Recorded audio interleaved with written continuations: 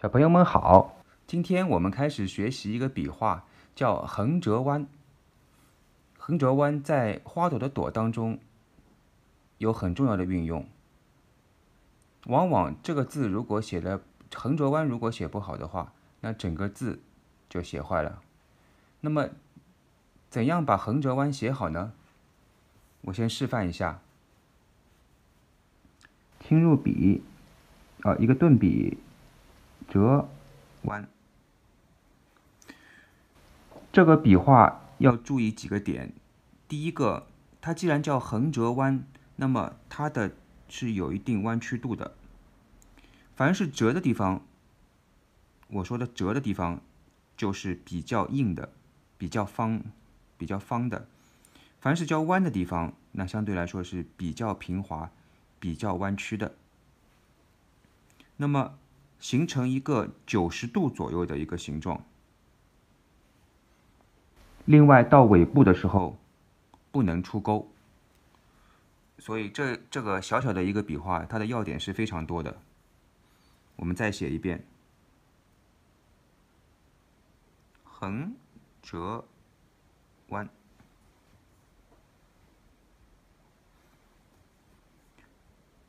到尾部的时候，稍微顿一下。但是不出钩，不能像这样出钩，这就错误了。顿的方向也是往上，注意，横顿笔，弯顿笔，停一下，笔往上走掉就可以了。好，我们再写一遍，这边也是要往右上角斜的。注意，在弯的时候，笔要稍稍抬起来，轻的比较轻的这个行笔，这样的话，这地方就会比较细，然后到尾部的时候又重。横折弯，横折顿笔，弯。好，我们再写一遍，横折弯。好，我们写这个花朵的朵。写花朵的朵的话，往往这个横折弯是跟一个小竖撇结合的，所以一开始就写一个竖撇，所以要比较垂直。好，然后一个横折弯，好，相当相当于戴了一顶小帽子，然后这个横特别长。好，我们再写一下小竖撇。横折弯，哎，收，横长一些，好，注意起笔的时候是比较轻的，所以它这边接的时候呢是比较轻的去接，也就是笔画比较细，这样的话呢比较好看一点，横折弯。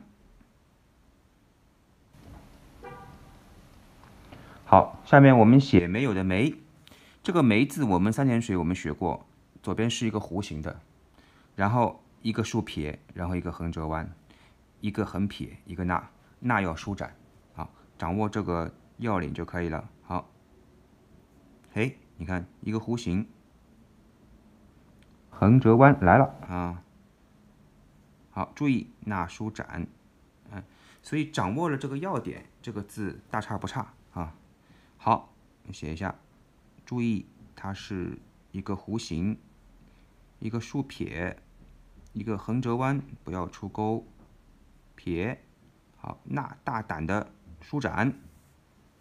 好，我们再写的快一点，三点水，一个短撇，竖撇，好，一个横折弯，好，一个右，好，捺舒展。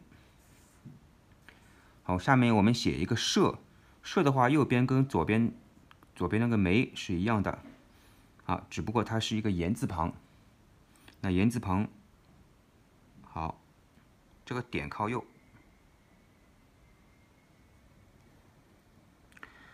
这个笔画叫横折提，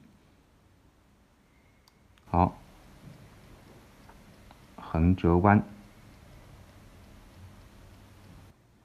好，我们边写边念念这个口诀哈，点。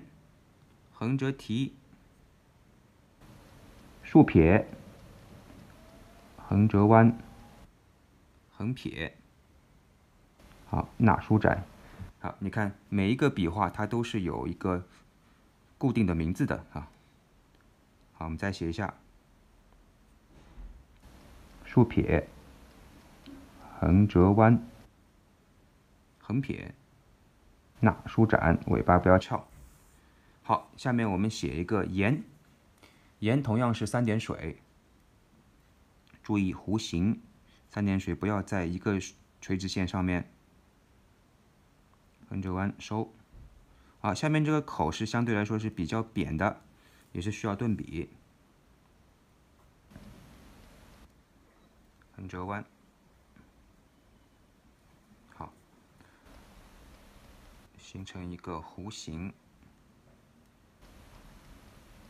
这口扁一些。好，下面我们写一个 “e”。这个 “e” 呢有一个双人旁，双人旁呢我们以后会学到。今天呢我大概说一下，就是这个短撇和这个长撇差距要大。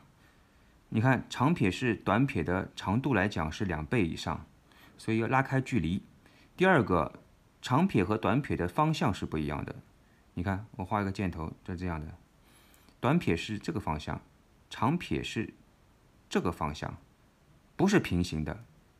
第三个要点是起笔是在一个垂直线上，短撇和长撇的头都在一个垂直线上边。这样的话能把这个双人旁写得很漂亮。好，我们看一下第一个短撇呢平一点，好，第二短撇起笔一个垂直线上面，方向不一样。好，横折弯。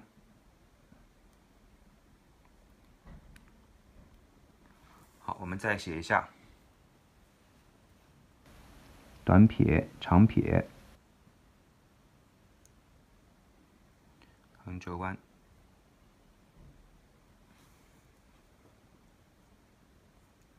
好，注意这个双人旁、横折弯。好，下面我们写一个铅笔的“铅”，这个“铅”字左边是个金字旁。金字旁的要领是什么？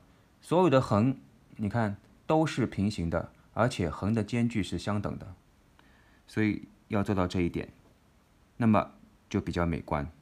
然后右边同样是竖撇和横折弯的组合，下面的口要扁。好，我们下面写一下，这个撇长一点。好，你看距离相等。横折弯，下面的口扁一点。好，都是所有的横都是往右上角斜，保持一个角度，这个要不断的练习。下面的口扁，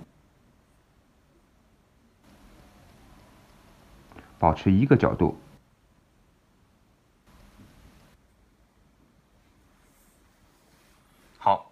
我今天学习了横折弯，横折弯先轻入笔，然后往右上角走，然后一个顿笔，比较方的顿笔，然后往下方走行笔，然后一个弯，这个弯呢保持在九十度左右，然后到尾部的时候不要出钩，稍顿收笔。